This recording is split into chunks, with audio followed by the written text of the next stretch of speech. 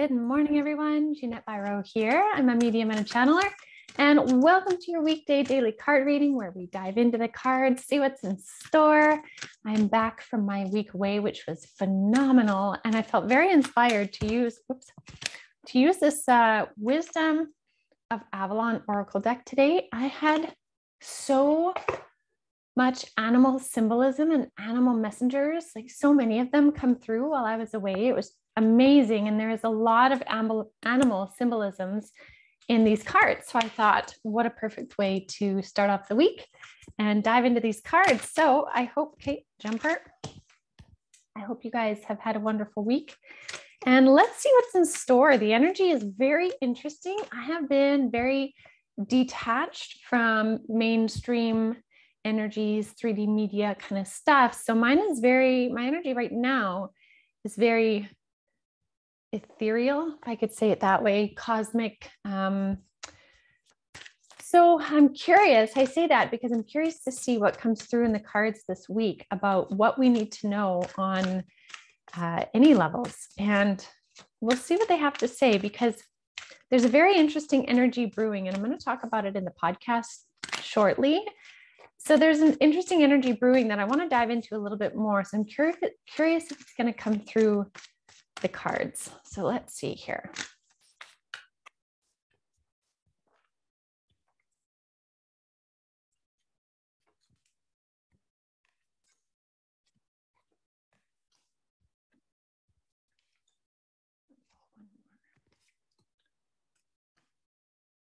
Okay, that's interesting. So um,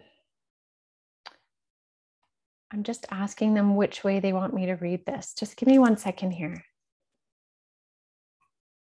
Okay, in partnership spirit. Got it. So, our jumper card, first of all, is partnership. And so, when it first jumped out, I was thinking, oh, this is, you know, relationships, business partnerships. But what my guides were just saying is they're saying this is to do with the relationship with spirit. Okay, so this is really interesting. That's the relationship they want to speak about. So, this is your connection to your guides, angels, spirit guides, uh, those in the higher realms. And so, what they're saying right now, this week, this energy that I was kind of talking about, the first card that jumped out is the restriction card, meaning the understandings of the pathway, the whole length of the pathway may not be visible to you this week. Now, this is specific to this week, or even at least the starting of the week, because in my mind, I'm seeing up until Wednesday at this point. So, you may not be able to see what is beyond Wednesday, or you may not be able to feel into what is beyond Wednesday at this point, and that's okay. Um, what they're saying right now is this is giving you, sorry, my cat's trying to jump up here. This is giving you a real sense of independence and healthy boundaries. And interesting, we have this cat card, and I have my, my cat trying to jump up on my lap and paw me the whole time. So this is this opportunity of restriction, not seeing beyond Wednesday, is giving you the opportunity to really sit in your own personal independence, your own sense of self, your knowing and awareness, where you need boundaries, where you want to push yourself forward, and really standing in that power. And what's interesting is while I was away, this card, the image of this card actually flashed to my mind a couple times with spirit. And the message from them in that was be sure to always stand in your truth first and foremost. And that was pertaining to a whole bunch of different lessons. But the message here is even though you don't know what's coming around past Wednesday potentially, that doesn't mean you are left flailing. This means you are to tune into your higher self and tune into your conscious self, the you that is you right now listening. You have a sense of self you have a sense of feelings, of intuitions. Tune into that in this energy. Be willing to be that independent self. And as you move through the energies of this week, they're saying move through the energy of the deer, which is gentleness and diplomacy. This is like be gentle with the information that comes from you and the information that comes to you. That's interesting. Be gentle with it, be diplomatic about it, don't be reactory. This card is saying don't jump into ego. Take a moment, pause, and observe. And what they want you to observe is this water fairy card, which is your feelings and emotions. observe what emotions are coming up for you and ask why. Get curious. Curiosity is going to be a really good thing for you this week as you maneuver this path. And again, what I'm getting with this pathway, coming back to this restriction card, is we'll be given like a few days at a time or like up until Wednesday, we can kind of feel into the next couple days. And then by Wednesday, we'll feel into the next few days for this week. They're also saying tread lightly this week. Um, and when I ask them what they mean by tread lightly, they're saying just tread lightly in the world around you.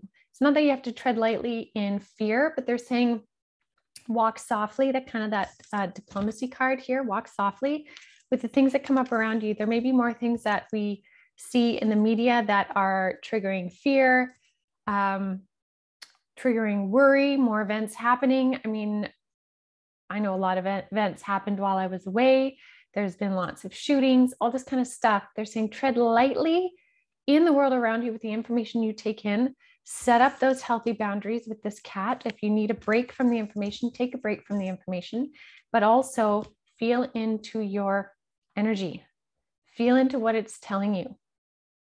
Take time for you. Pay attention to you. Let it surface. Let it come out. I was listening to a song on the drive home yesterday, and it was about um, about being strong enough to feel it, strong enough to stand in your truth and feel your emotions.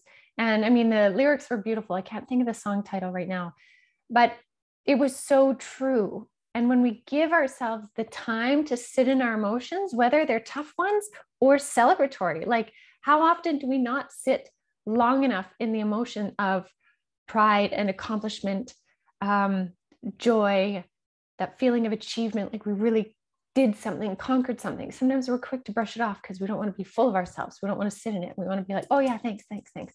But what if we were to sit in that energy and allow what we did, the feelings that come with it, to fill our cup and imbue all our cells and our energy and radiate from us, carrying us forward. Why would we dampen something that is really good? Just as when we have tough things that happen, we need to feel it to allow it to move through so it doesn't get stuck within us and create disharmony, illness, stress, all that kind of stuff. So feel your emotions, set the boundaries where needed, move with gentleness, and don't be afraid if you can't feel past Wednesday at this point. It's all okay because spirit is coming in talking specifically about their partnership. And so if you look at this symbol in this partnership card, it's kind of like a figure eight, uh, the infinity symbol, but really what it is, is it's the two connecting points of a triangle. They're connecting at their peak. That's kind of like where two worlds connect. So spirit is saying, don't doubt that we're not with you. If it feels quiet to you, we are right here. We are right here. Just give us a few days. Trust and rely on self, knowing that you are not alone. And so, really, the last thing they're showing me in my mind is that uh, the more we step up into our knowledge and understanding of co creation with our guides, with the universe, with the energies, how much we co create, meaning we are a sovereign, equal part of it. We are not just the pawns or peons in it, we are equal parts, right? We are the queen to the king, we are the king to the queen of the spirit world. We are equal counterparts when we really know that and embody that, then we don't doubt in the moment in the moments when it's quiet. So that's really what they want us to know. So I will leave that with you guys for today. I hope you guys have a wonderful day. Do check out the Ginette Biro podcast. I just dropped one today. It's a good one. So you'll want to check that one out. You can listen to it here online or on any of the audio uh, podcast platforms. And Lastly, check out avalonspirit.com if you're wanting to deepen your journey and your practice into awakening, uh, maybe even learning your own skills and connecting with spirit. I do have a course called the Lightworker Mentorship Circle, and you can check that out on avalonspirit.com. See you guys tomorrow.